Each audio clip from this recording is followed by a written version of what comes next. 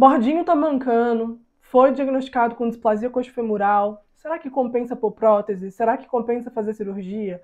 Qual que é o melhor tipo de tratamento que a gente tem hoje? Eu vou conversar com vocês a respeito disso nesse vídeo.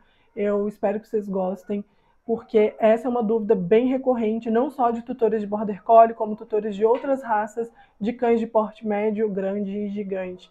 Então eu quero muito falar sobre isso com vocês. Se você é novo por aqui e não me conhece, meu nome é Paula Silvério, sou médica veterinária e esse é o espaço que eu queria para te contar tudo a respeito desse universo maravilhoso dos pets. E hoje a gente vai falar sobre a temida displasia coxofemoral, que é tão comum nos nossos bordinhos, nos nossos cachorros de médio, grande e gigante porte. Já quero iniciar esse vídeo falando que já existe aqui nesse canal um vídeo mais completo sobre a displasia, sobre de onde vem a displasia, coisas assim. Hoje a gente vai focar mais em como você descobre que o seu cachorro tem, em o que você pode fazer para evitar, em também quais são os melhores tratamentos hoje em dia, o que você deve fazer. Porque assim que o cachorro é diagnosticado com displasia, vem um ponto de interrogação enorme na cabeça do tutor. E agora, o que, que eu faço? Como que eu vou proceder com isso? Cada veterinário fala uma coisa. O que, que eu vou fazer? Então, vamos conversar aqui, um bate-papo assim, bem sincero mesmo, aqui nesse vídeo e bora lá então. Bom, primeiro de tudo, vou passar assim bem por cima sobre o que é a displasia. E a displasia é basicamente quando a gente tem uma doença, uma anormalidade ali na articulação coxofemoral. Então, a articulação coxofemoral é a articulação que liga o quadril ao fêmur, né? Então, é a que liga a perna ao quadril, sabe? E esse problema é muito comum em várias raças de cachorro. A gente tem aí o Border Collie, Golden Retriever, Labrador, Rottweiler, é, Pastor Alemão. Muitas raças mesmo são é, acometidas com a displasia coxofemoral. Claro que tem outras também, essas que eu falei para vocês são as mais comuns na clínica veterinária, mas qualquer raça é, de porte médio, grande e gigante pode sim ter a displasia coxofemoral, incluindo os vira-latinhos, os nossos caramelinhos também podem desenvolver a displasia, tá? A origem da displasia, ela é basicamente, primordialmente, na verdade, hereditária, mas a gente também tem os cães que podem ter a displasia coxofemoral adquirida por fatores é, biomecânicos, por fatores é, de nutrição. Então, tem vários fatores que podem levar um cão a adquirir também a displasia coxofemoral como o mais comum de tudo é a obesidade, por exemplo, combinada com um piso bem frio, bem escorregadio. Bom, e a displasia, ela é determinada de acordo com o raio-x que as pessoas vão fazer ali no cachorro. E o raio-x ele é classificado em cinco graus, basicamente, né? O A, que é quando não tem nenhum tipo de malformação, tá em ótimo estado da articulação. O B, que é quando está muito próximo do perfeito. O C é quando já tem um grau de displasia leve, o D é quando tem um grau de displasia moderado e o E é quando tem um grau de displasia grave. Ou seja, os únicos cães que devem ser reproduzidos, tendo em vista que a displasia é uma condição majoritariamente hereditária, a gente só pode reproduzir cães A ou B, né? Cães com perfil C, D e E, a gente exclui da reprodução logo de cara, mesmo se o seu cachorro não manifestar nenhum tipo. Aliás, o C é normal não manifestar nenhum tipo de sintoma, mas o D e o E é muito raro um cachorro que tenha esse perfil né, de, de radiografia não manifestar nada. Mas C, perfil C, jamais, tá, gente? Não reproduzam esse tipo de cachorro. Aí a gente entra naquilo que eu sempre falo com vocês. Vale a pena investir num canil que faz controle disso? Com certeza. Porque às vezes a diferença que você economizou para comprar um cachorro que você não sabe de onde vem, ou que você fez uma cruza que você né, não imaginava, vai tudo embora nesse tratamento, nessa cirurgia, se for o caso, enfim. Então, assim, mais um motivo para você entender a importância de você selecionar da onde está vindo o seu cachorro, tá? Afinal de contas, eu já falei isso com vocês em, em story principalmente, é muito complexo ter um border collie em casa, que é um cachorro muito agitado, um cachorro que adora atividade, que não pode fazer nada. Então, e não consegue, na verdade, também fazer nada. Então é muito complexo isso, tá, gente? Então a gente tem que levar tudo isso em consideração na hora de escolher um filhotinho. Bom, voltando aqui.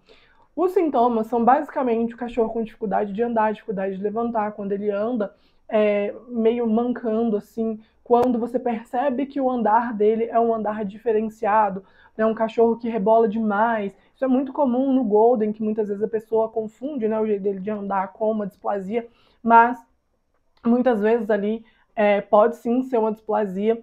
A gente muitas vezes percebe ali uma atrofia muscular, que é quando a musculatura ali do bumbum do cachorro e da perna do cachorro, ela é bem é, pequena, né, mais flácida, assim, que não parece que é uma musculatura de um cachorro daquele tamanho, daquele porte. Isso porque eles tentam evitar ao máximo usar ali aquela articulação, né? Ou seja, a musculatura também vai ficar prejudicada. É muito importante eu comentar com vocês que normalmente esses sinais aparecem quando os cães são bem jovens, entre 5 e 8 meses de idade é quando aparece normalmente. Só que a gente também tem aqueles cães que vai aparecer só depois dos dois anos de idade, que é quando acabou a fase de crescimento. Mas o mais comum, principalmente quando a gente fala de graus mais graves, né, tipo é, E e perfil é, D, a gente tem ali um filhotinho já que tem dificuldade de se levantar, que tem é, começa a mancar, e, e, às vezes é um filhotinho que cresce menos, um filhotinho mais letárgico, a gente não entende por quê, muitas vezes é porque ele está com dor. Bom, como eu falei para vocês, o, o, diagnóstico é feito com raio-x, né, faz a, a, radiografia ali da articulação, vê como que está a integridade da articulação.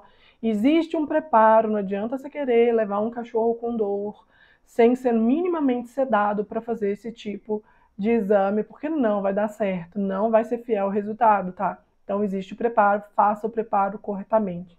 O seu veterinário vai conseguir te orientar o que, que vai ser necessário para o caso do seu cachorro a ser feito, tá? Mas, normalmente, cachorro com dor não deixa você manipular ele do jeito que você quer, porque ele sente dor. Então, ele não vai ficar na posição que precisa ficar, ele não vai ficar quietinho, nem nada do tipo, porque ele tá com dor.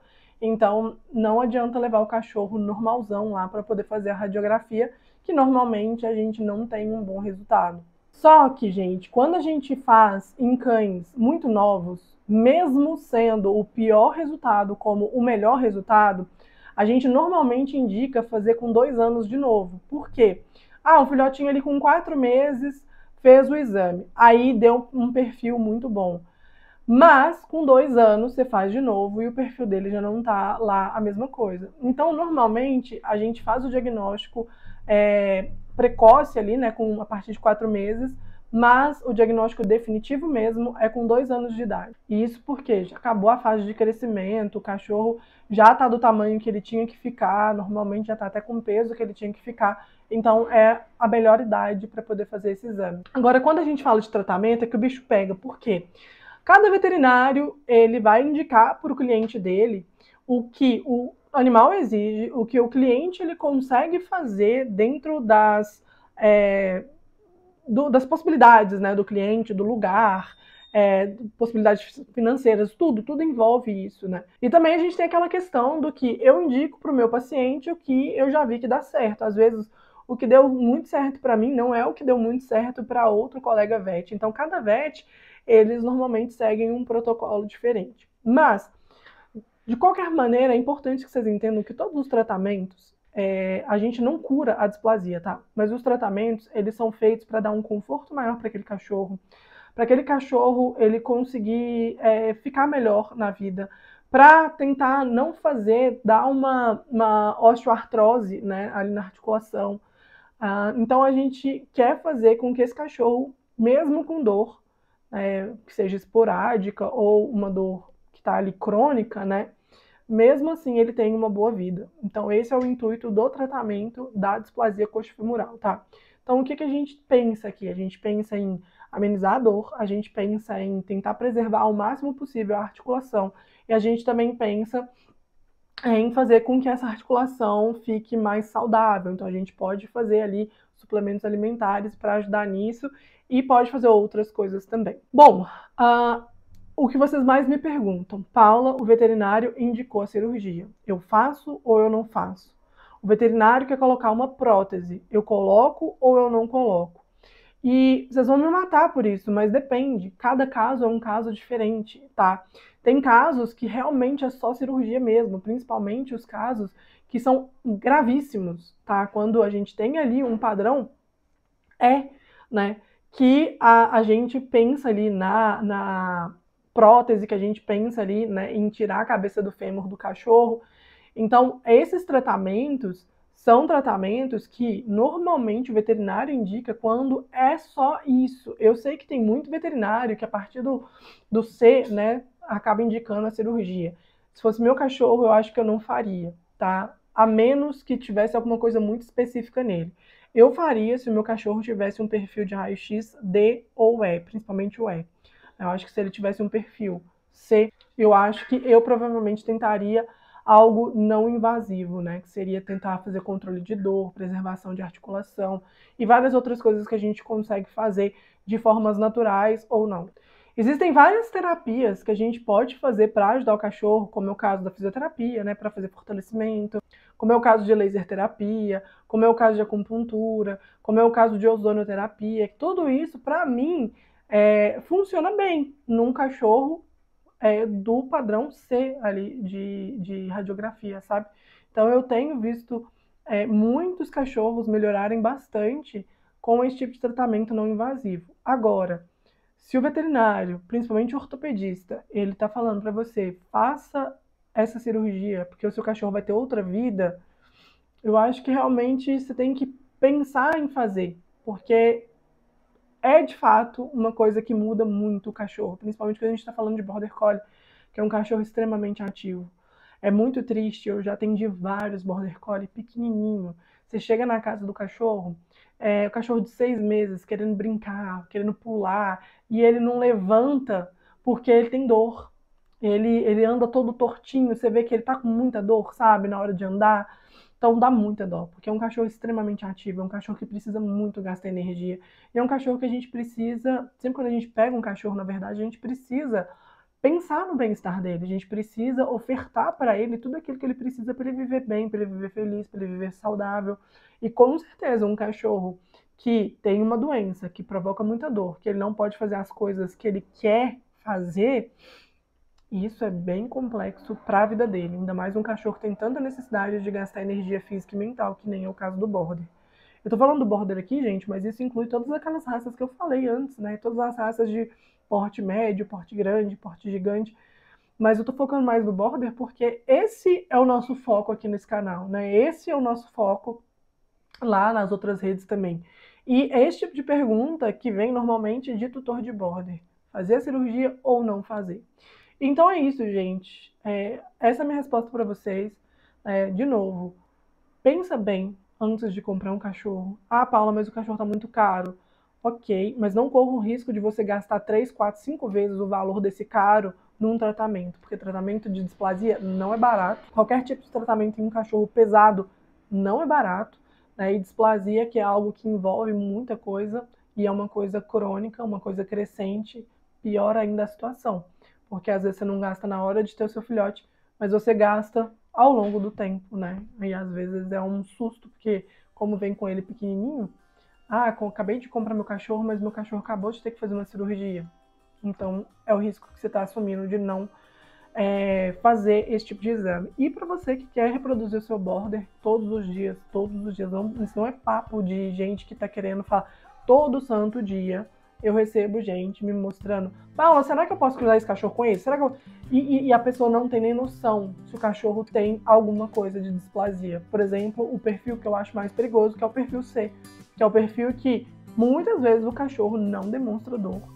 Né? Ele anda normal, ele tudo normal, e ele vai demonstrar dor em coisas esporádicas, do tipo, ah, ele fez uma caminhada muito longa, ele fez muito exercício num dia, ele fez isso, ele fez, fez aquilo, aí ele pode demonstrar um pouco de dor mas assim, ao longo assim da vida dele, não vai demonstrar dor todo dia igual é um perfil é, e E. Né? Então, muitas vezes os donos nem sabem que esse cachorro tem displasia leve e eles vão jogando isso pra frente, jogando isso pra frente. Então, muito cuidado com isso, tá bom, gente? É isso então, vou ficando por aqui. Beijo, até o próximo vídeo. Tchau.